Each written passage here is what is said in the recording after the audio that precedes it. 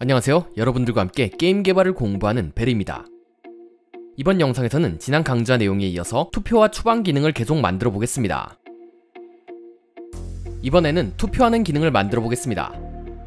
먼저 in-game 캐릭터 mover 스크립트로 이동해서 이 플레이어가 투표했는지를 의미하는 bool 타입의 isVote 변수와 이 플레이어가 몇 표를 받았는지를 의미하는 int 타입의 vote 변수를 선언하고 두 변수에 SyncVar attribute를 붙여줍니다.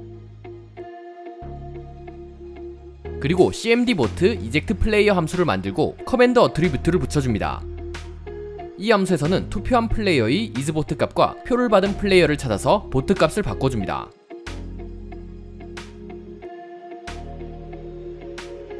그 다음에는 게임 시스템 스크립트로 이동해서 다른 모든 플레이어들에게 투표 내용을 알리기 위해서 rpc sign vote eject 함수를 만들고 클라이언트 rpc 어트리뷰트를 붙여줍니다. 그리고 in-game 캐릭터 mover의 cmd vote eject 플레이어 함수에서 rpc sign vote eject 함수를 호출해줍니다. 잠시 미팅 UI로 이동해서 업데이트 vote 함수를 만들어줍니다. 그리고 이 함수에서는 미팅 플레이어 패널들의 몇 가지 작업을 해줘야 합니다. 이리저리 스크립트를 많이 이동해서 어지러울 수 있는데 이건 애초에 설계를 제대로 안하고 내키는 대로 작업한 부작용입니다.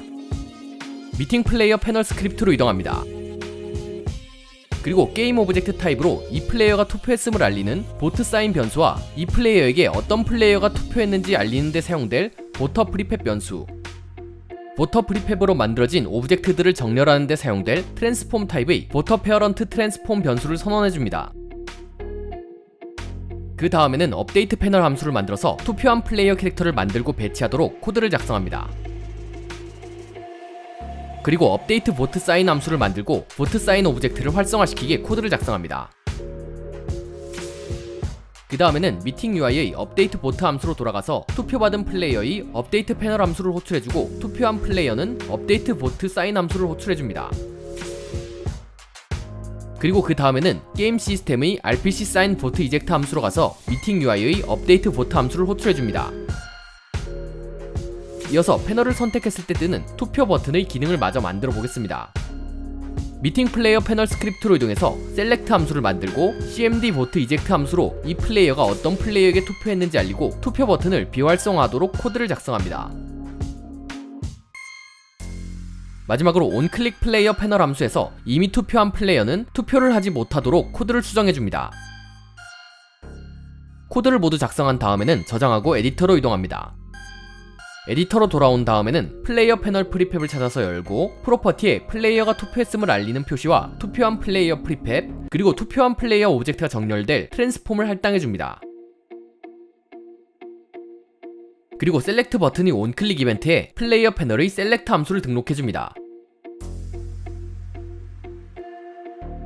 작업이 끝나면 게임을 빌드합니다.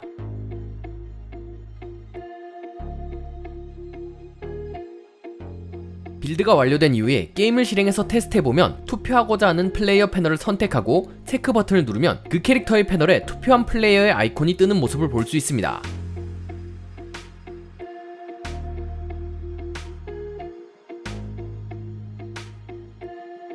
그 다음으로는 누구를 impostor로 지목할지 결정하지 못한 플레이어를 위한 투표 skip 기능을 만들 차례입니다. 미팅 UI 스크립트로 이동합니다. 그리고 게임 object 타입으로 voter prefab 변수와 skip vote 변수 그리고 skip vote players 변수를 선언하고 transform 타입의 skip vote parent transform 변수를 선언합니다. 그리고 업데이트 skip vote 플레이어 함수를 만들고 매개 변수로 받은 플레이어의 투표한 표시를 활성화한 다음 투표 skip 표시를 추가하는 코드를 작성합니다. 이어서 투표 skip 버튼을 비활성화하고 투표를 skip한 플레이어의 표시가 보이도록 코드를 작성합니다. 그 다음에는 게임 시스템 스크립트로 이동해서 투표를 skip한 플레이어 수를 카운트할 int 타입의 skip vote 플레이어 카운트 변수를 선언하고 SyncVar attribute를 붙여줍니다. 그리고 투표를 skip한 플레이어를 클라이언트의 미팅 UI에 알려주고 업데이트하기 위한 rpc sign skip vote 함수를 만들고 클라이언트 rpc 어트리뷰트를 붙여줍니다. 이 함수에서는 미팅 UI의 업데이트 skip vote 플레이어 함수를 호출해주면 됩니다. 그 다음으로는 in-game 캐릭터 mover 스크립트로 이동해서 cmd skip vote 함수를 만들고 커맨드 attribute를 붙여준 뒤 게임 시스템의 skip vote 플레이어 카운트 값을 증가시키고 rpc sign skip vote 함수를 호출해줍니다. 그리고 다시 미팅 UI 스크립트로 돌아와서 skip 버튼을 눌렀을 때 동작할 OnClick skip vote 버튼 함수를 만들고 내 캐릭터의 CMD skip vote 함수를 호출하도록 코드를 구현합니다. 물론 이 함수 역시 플레이어가 이미 투표한 경우라면 누르지 못하도록 코드를 작성해줍니다. 코드를 모두 작성한 다음에는 코드를 저장하고 에디터로 돌아갑니다. 에디터로 돌아온 다음에는 미팅 UI object를 선택하고 각 property에 필요한 것들을 찾아서 할당해줍니다. voter prefab에는 voter 이미지 prefab을 할당하고 skip vote 버튼 property에는 skip vote 버튼 object를 할당해줍니다. 그리고 스킵 보트 플레이어 프로퍼티에는 스킵 보팅 오브젝트를 스킵 보트 페어런트 트랜스폼 프로퍼티에는 스킵트 보터 오브젝트를 할당해줍니다.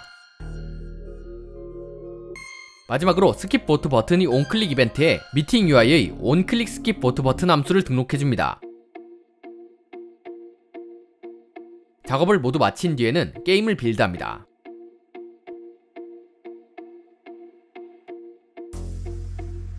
그리고 게임을 실행해서 테스트해보면 투표 스킵이 잘 동작하는 모습을 볼 수 있습니다. 물론 지금은 한 플레이어가 스킵하면 모든 플레이어에게서 스킵 버튼이 바로 사라지고 스킵한 플레이어가 보이게 되면서 한 명만 스킵이 가능하지만 이 부분은 모든 플레이어가 투표한 뒤에 그 결과가 보이도록 만들면서 수정할 예정입니다.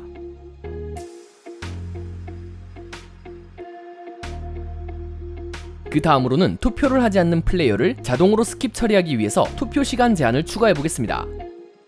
먼저 회의와 관련된 시간 변수를 찾아보기 위해서 game rule store 스크립트를 열어보겠습니다. 게임 규칙과 관련된 game rule data 구조체를 살펴보면 회의 시간인 meetings time과 투표 시간인 vote time 변수를 볼 수 있습니다. 이 두 값을 이용해서 회의 시간과 투표 시간을 제한해 보겠습니다.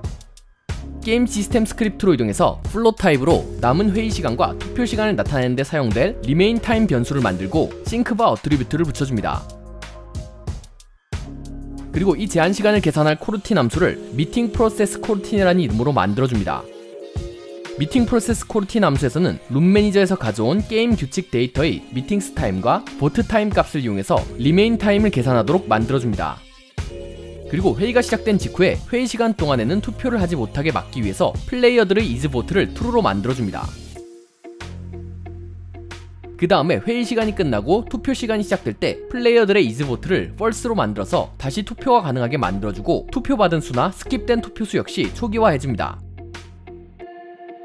만들어진 meeting process coroutine 함수는 start report meeting 함수에서 호출해집니다. 그리고 중간에 회의 시간이 끝나고 투표 시간이 시작되었음을 알리기 위한 RPC start vote time 함수와 투표 시간이 종료되었음을 알리는 RPC end vote time 함수를 만들고 각각 client RPC attribute를 붙여줍니다. 함수의 자세한 내용은 작업을 좀 더 진행한 이후에 채우기로 하고 meeting process coroutine 함수에서 이 두 함수를 호출하도록 만들어줍니다. 그 다음에는 meeting UI 스크립트로 넘어가서 상단의 회의 상태를 확인하기 위한 E meeting state 열거형을 만들어줍니다. 그리고 방금 만든 열거형 타입으로 회의 상태를 표시할 meeting state 변수와 텍스트 타입으로 시간을 출력하기 위한 meeting time text 변수를 선언해줍니다. 그리고 change meeting state 함수를 만들어서 외부에서 회의 상태를 변경할 수 있게 만들어준 뒤 업데이트 함수에서 남은 시간을 표시하도록 만들어줍니다. 다시 게임 시스템 스크립트로 이동해서 start meeting coroutine 함수에서 meeting UI의 change meeting state 함수를 호출해서 회의 상태를 미팅으로 변경하고 RPC 스타트 보트 타임 함수에서는 보트로 변경하게 코드를 작성합니다. 그리고 마지막으로 할 작업은 현재 투표를 하면 바로 결과가 보이는 것을 모든 투표가 완료된 이후에만 결과가 공개되도록 수정하는 것입니다. 먼저 meeting player panel 스크립트로 이동해서 open result 함수를 만들고 update panel 함수에 있는 voter parent transform을 보이게 만들어주는 코드를 방금 만든 함수로 이동시킵니다. 그리고 meeting UI 스크립트로 이동해서 complete vote 함수를 만든 뒤 각 패널의 open result 함수를 호출하고 update skip vote player 함수에서 스킵한 플레이어들을 보여주는 코드를 이 complete vote 함수로 이동시켜줍니다.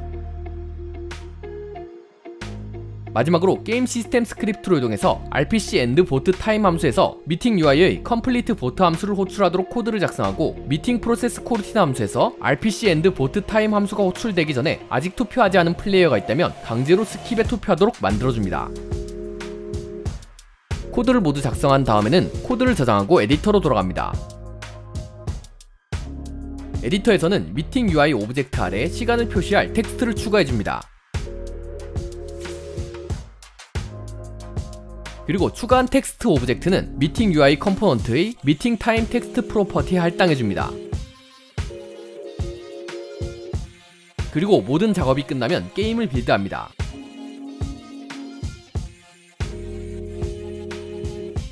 빌드가 완료되고 실행해서 테스트해보면 회의 시간이 끝나기 전에는 표가 불가능하며 투표 시간이 되면 그때부터 투표가 가능해집니다. 그 다음에 투표 시간이 끝날 때 투표 결과가 공개되며 시간이 끝날 때까지 투표를 하지 않은 플레이어는 자동으로 스킵 처리되는 모습을 확인할 수 있습니다.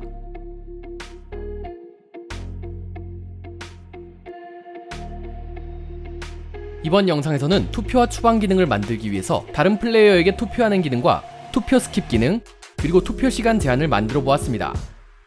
이상 베레의 게임 개발 유튜브였습니다. 감사합니다.